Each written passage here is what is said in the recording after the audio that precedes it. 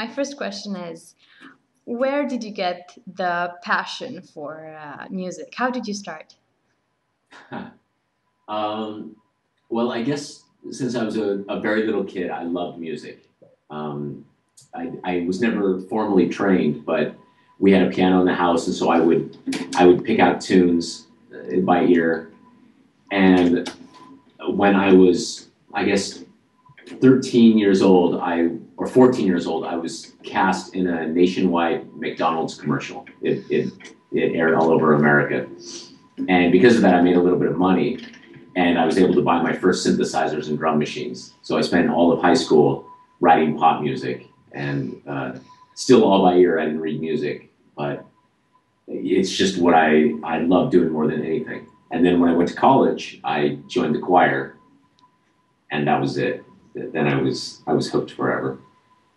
Okay, so then you were actually educated in music afterwards. Yeah, that's right. Although I have to say, I'm still.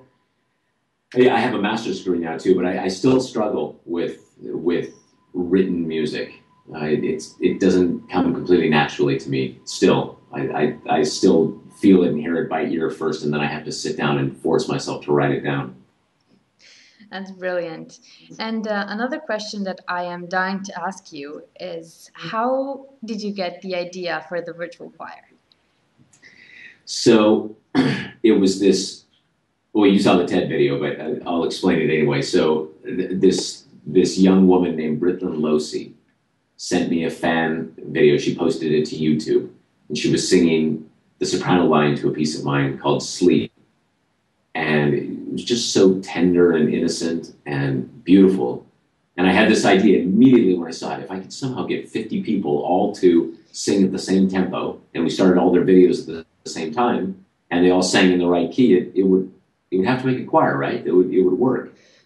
So so that was just the idea, and then everything blossomed from there. Um, one question that I often get when uh, I show that video around is how did they actually do it? I mean, technically, how do you manage to synchronize perfectly and uh, you know make it make it sound well at the end? It's a lot of work. Um, the, there's two parts to it. There's the there's the, the audio and the visual, of course.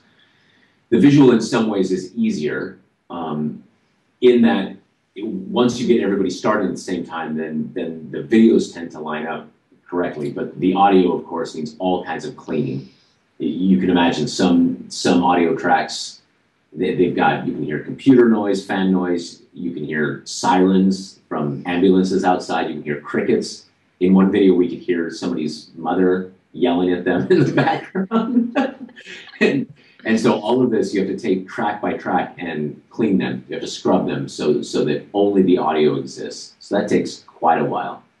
And then, then there's some alignment when it comes to uh, consonants, especially at the ends and begin, beginnings of words. Sleep, for instance, was a really tough one because of all of the S's. And so sometimes you'll hear sleep. But we tried to keep that as honest as possible so that if some people came a little bit early, then you just had an elongated S. Okay, so how long did it take to make both uh, Sleep and uh, Lux Aurumque?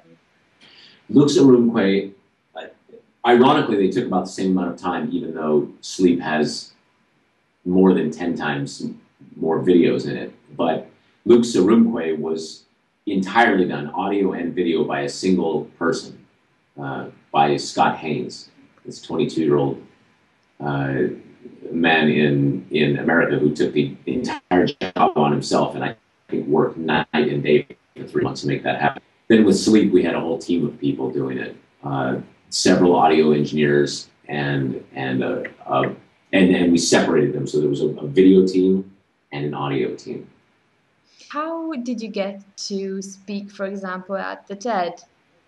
It was the most amazing thing. So uh, you know, I had for years watched the TED videos online, like a lot of people, and just marveled and sat in awe of these people. Um, and then one day on, on Facebook, I received a message from Chris Anderson, who is the head and the curator of TED, saying, I just love what you've done. Would you be interested in presenting at TED next year? And I, you know, I fell out of my chair. I couldn't believe that he was asking me this. So I wrote back and said, "Yes, my God, of course, I'd, I'd love to." And then I, I wasn't prepared though. He he put me on the the very first. Uh, I was one of the first speakers in in the morning. The, the, one of the first four speakers, and that, it was just a huge honor and a and a real thrill to be there. So, um, one other question I'd like to ask you is, um, since you've done, you've practically managed to do uh, a virtual choir crowdsourced on the internet. Basically, that's what it is. Do you think it would be possible to crowdsource other artistic uh, works? Absolutely. Um, I'm surprised, first of all, that nobody has done dance which to me seems so obvious. They, they've certainly done all kinds of flash mob dances, which are interesting. You know, where suddenly thousands of people show up and do Michael Jackson's Thriller or or something. Uh, but I'm amazed that someone hasn't had the idea yet to to have individuals dancing wherever they are, be choreographed, and then cut them all together the same way that we do the virtual choir, and then make you can actually make pictures.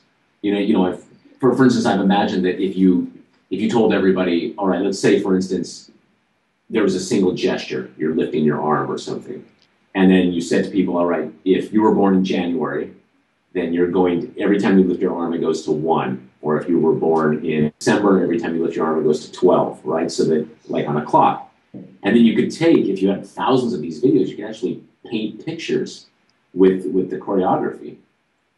So I, I, really think it's limitless. Uh, I should say it's not that people haven't had the idea. Probably people have had that idea. It's it's more people might not have the time or the resources because it takes forever to make these things happen. So, um, but yeah, I think we're just starting to scratch the surface of what's possible. Yeah, I know it's um, for for videos, for example. Uh, YouTube did a great job with uh, Life in a Day. So um, I was wondering would you do that kind of uh, kind of project with the with the dance videos? Yeah, you know, it's it's funny. Even for this virtual choir, which we're not going to do, I had I had one of the things I pitched was doing dance and singing at the same time.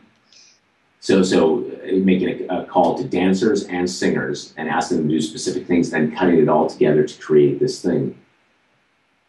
Uh, ultimately, it, like I said, it becomes a question of resources and we just didn't have the resources to pull it off this time. But absolutely, I'd love to do that. I love the the Life in the Day uh, movie. It's it's beautiful and brilliant.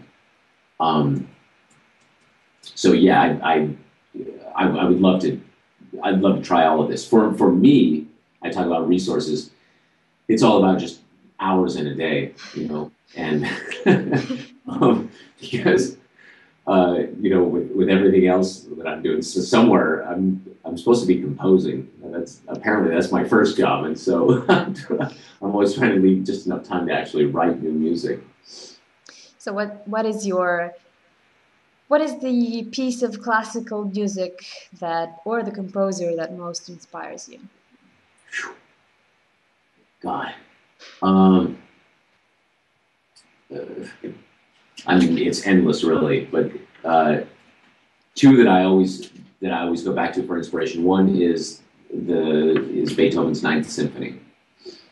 Um, first, I just as a composer, I sort of stand in awe at its mastery. I can't believe that a human being could write this, and then could write it completely deaf.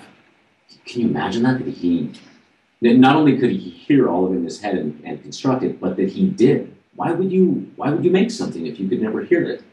It's I mean it's it's it's he's driven by this passion. It, it's more than passion. It's um it's I, I don't know what it is. It's, and it was incredibly generous, actually.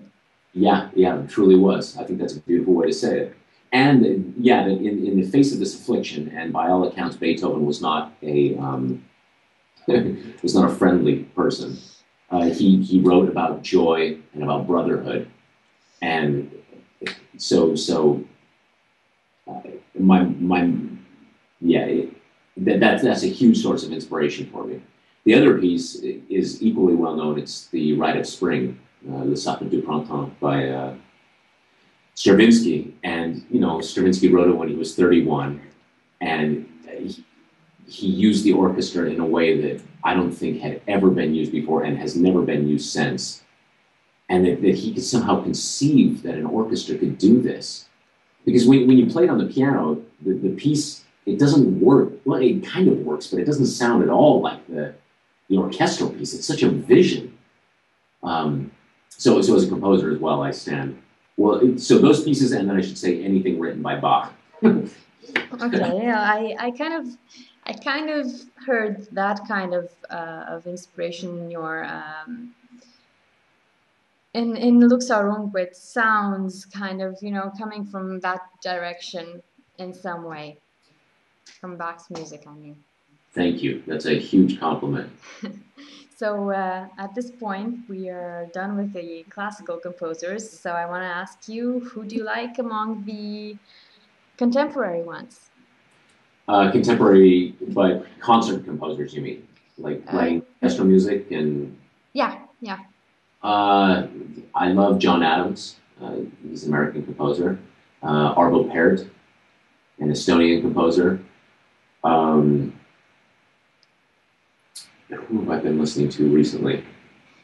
You know, I just heard a piece by a Norwegian composer named Anders Hillborg. Actually, my wife Hila sang it in Los Angeles with the Los Angeles Philharmonic. Uh, that was pretty stunning. I didn't know his work at all. It was for chorus and orchestra and, and two soloists. That, that was pretty thrilling. Um, I don't know. Can can you call is is Ligeti contemporary? Probably not, huh? I don't know. Isn't that funny? It, it, it, makes me laugh too, like with something like the Rite of Spring that it's a hundred years old now. It still feels so fresh and new. Um, listen, now I am very curious to ask you another thing. Have you ever worked with your wife? It, all the time. She's a very famous uh, soprano, right? Yeah, yeah, she's incredible. She's the real musician in the family. where do you find all that music? Where do you listen? Where do you where do you what's your source? You know, where you find all that fabulous music you have you you listen to. Oh, you mean just just where do I find music to listen to? Yeah.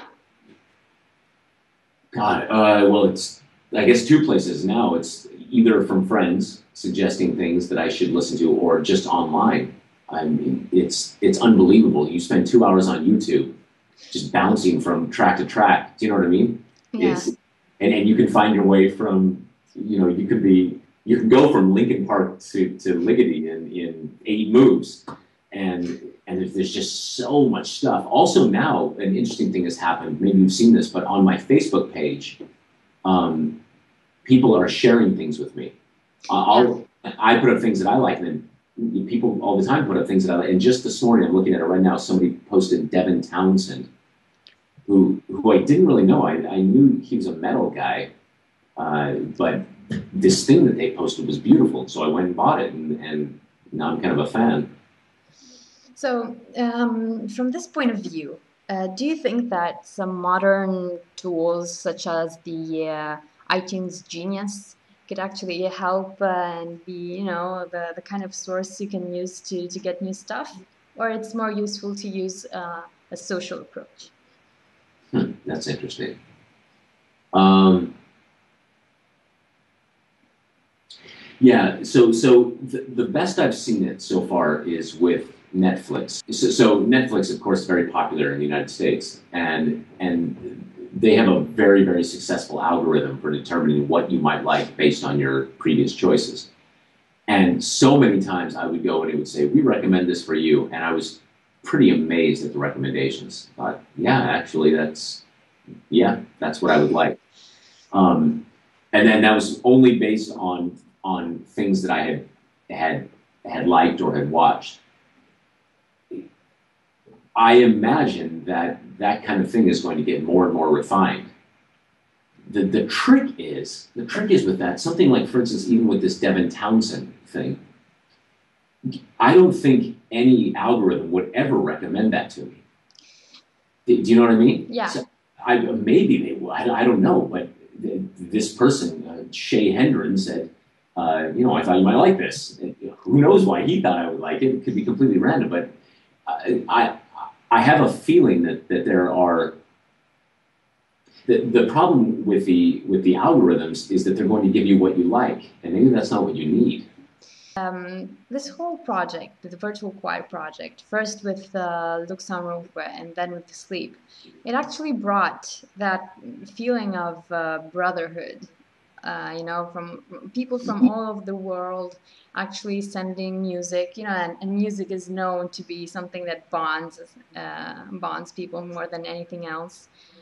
And um, so I, would like to ask you, what did you talk about at the UN Leaders Program? in the light of this of this consideration. This was the funniest thing ever. So what I understood I was going to be speaking about was just the virtual choir and how I did it and and what it meant to me. So I gave I don't know a, a 20 minute presentation and then there was another half an hour open for questions from the delegates. and suddenly, people, these UN delegates, were asking me, given what you've done, uh, how can this be applied toward bringing peace, for instance, to the Middle East or to. I, I couldn't believe they were asking me these questions. Um, and uh, yeah, I, I, I, told them that. Um, you, you know, people need to feel that they're part of something greater than themselves. This is the key. Uh, and when they do, uh, human beings are they're just they're capable of more than than we could ever dream, and especially together. And with a unified, shared vision, people just stop fighting. It's my feeling. I mean, um, it's easy to say, I, I also told them because they were asking a lot about as a conductor, how is it that I bring about, uh, you know, a sense of unity and peace? And I was saying, well, it's it's it's a tricky analogy because as a conductor, you're kind of a dictator. you know, it's, well, it's not a democracy at all within an orchestra or a chorus. Um, it's uh, it, it, you're you're trying to lead the people, but but at the end of the day, everyone has to answer to the person on the podium. Um, so so it, it, was just a very funny and and sweet conversation. I was I was hugely honored to be speaking to them. So, um, what does it mean for you, the virtual choir?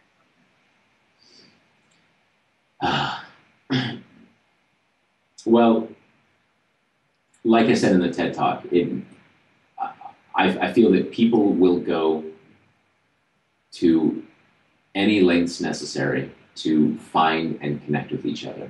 And they will use whatever technology is available to them. It could be a scroll, it could be uh, a telegraph, it could be the internet. It, it really doesn't matter.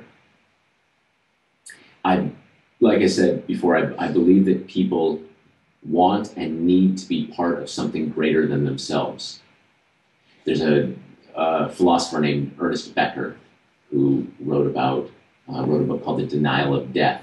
And he believed that the human civilization, aware of its own mortality, longs to be greater, longs to be part of something greater than itself. He, he called it um, an immortality project.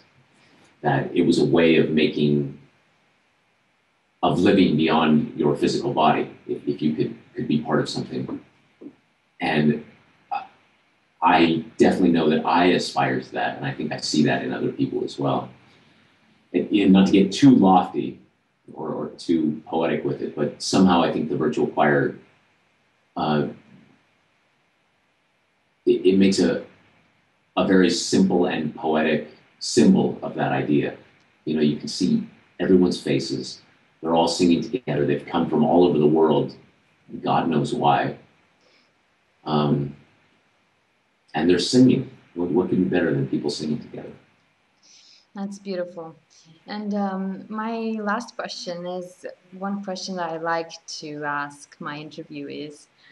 And uh, they often tell me it's the most difficult, but anyway, I'm going to give it a try. So, what is the question that you never get, but but you think is really really relevant at this point? Oh my God! About anything? About well, about music especially.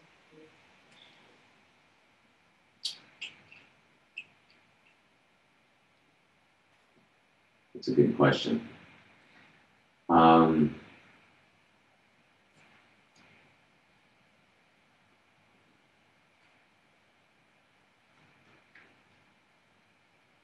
well, it's it's funny. I, I, I don't think I I'm not sure I have an answer for it. But the, the question I I never really get asked is why is my music becoming popular? why do I think it's becoming popular? I never get asked that question. Um, and like I say, I'm not entirely sure I have an answer. Uh, I'd like to think that it's because um,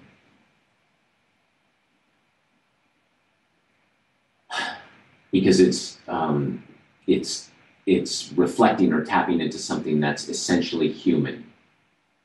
Um, but more and more, I'm thinking that the, the music and, and all great music is doing something physiological. That, that, that there's more there's more than just the, the poetry of it. That in fact, uh, there is something with the vibrations themselves that physically affect people. I, I don't know what that is or how it works, but I do know that when I'm composing, I'm searching all the time for, for, for moments or that give me chills, that, that give me butterflies, that make my body feel a certain way, or that make my throat ache. And when I feel them, usually then other people feel them in the music. It's the strangest, strangest phenomenon. I don't understand it at all. So, what do you prefer to compose? What kind of music do you mostly prefer to compose? Well, I guess I'm most comfortable with, with composing choral music now, with music for choirs. But uh, recently I've been composing a lot for strings, and I love, love, love writing for strings. I love writing for my wife. She's got you know, you, have heard she's got this exquisite instrument. Um, if, if I could do anything, if, if I just had my choice right now, I could I would probably compose some sort of pop rock album and, and collaborate with Radiohead and Imogen Heap and Peter Gabriel and and do some weird hybrid of the things I do and the things they do and um, yeah. Eric, I thank you so much for your time and for being with us today. It was really a great, great honor and pleasure to have you. No, no, thank you, Maria. I'm truly honored.